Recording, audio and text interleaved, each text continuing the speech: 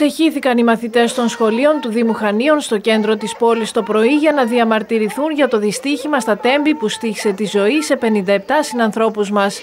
Η νεολαία των Χανίων φώναξε συνθήματα που στο επίκεντρο είχαν, όπως τόνισαν την αδιαφορία του κράτους για την ασφάλεια στις σιδηροδρομικές μετακινήσεις. Στείλε μου όταν φτάσεις, έλεγαν στο πανό τους, ηρωνευόμενα την κακιά την ώρα.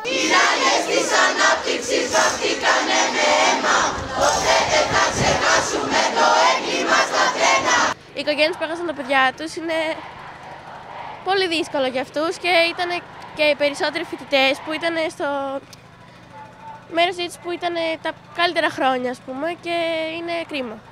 Είμαστε εδώ για τα άδικα θύματα Σιτέμπη.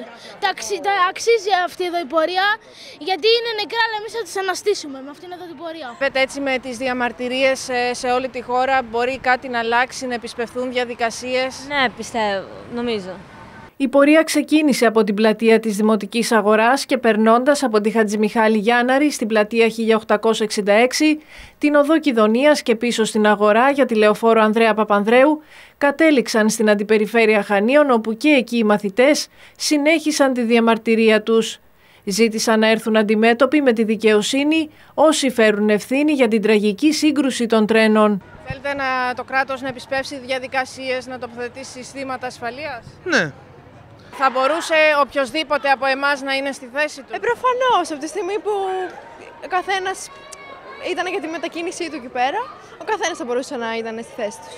Είμαστε σχεδόν η μόνη χώρα που έχει τέτοιο σύστημα και ενώ έχουμε τα μέσα και θα μπορούσαμε να έχουμε τα μέσα να τα κάνουμε, τα αποφεύγει και δεν κάνει απολύτως τίποτα. Θέλουμε να αλλάξει αυτό.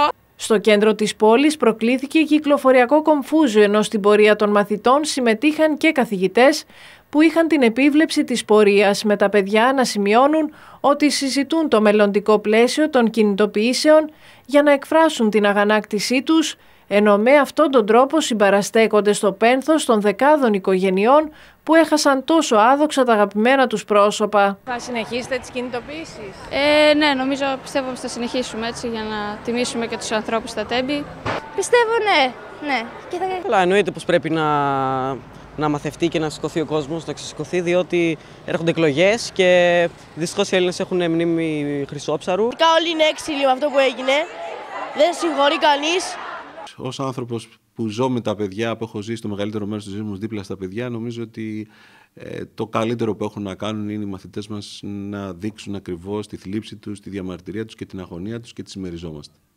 Μετά την πορεία οι μαθητές αποχώρησαν χωρίς να δημιουργηθούν περαιτέρω προβλήματα πέραν του κυκλοφοριακού στο κέντρο της πόλης.